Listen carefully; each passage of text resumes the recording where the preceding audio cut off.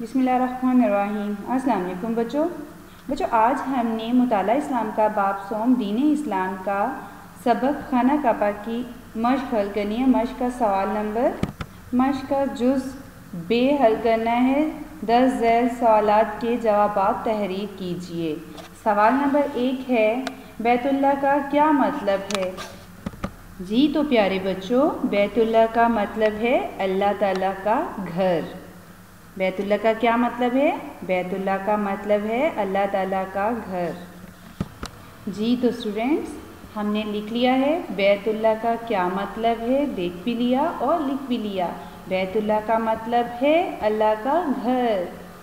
सवाल नंबर दो है तो आप किसे कहते हैं? तो प्यारे बच्चों, आप जानते हैं तो आप किसे कहते हैं? खाना काबा के गिर चक्कर लगाने को तो आप कहते हैं। तो आप किसे कहते हैं? खाना काबा के गिर चक्कर लगाने को तो आप कहते हैं। सवाल नंबर तीन है, मुसलमान किस तरफ़ रुक करके नमाज़ पढ़ते हैं? तो प्यारे बच्चों, इसका जवाब है मुसलमान काबा की तरफ़ यानी काबा को हम किबला भी कहते हैं। किबला की तरफ़ किबला रुख मुँह करके नमाज़ अदा करते हैं। मुसलमान किस तरफ़ रुख करके रुख करके नमाज़ पढ़ते हैं? किबला रुख करके नमाज़ पढ़ते हैं।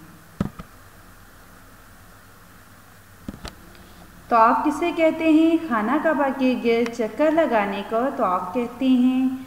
मुसलमान किस तरफ़ रुख करके नमाज़ पढ़ते हैं? मुसलमान किबला रुख करके नमाज़ पढ़ते हैं।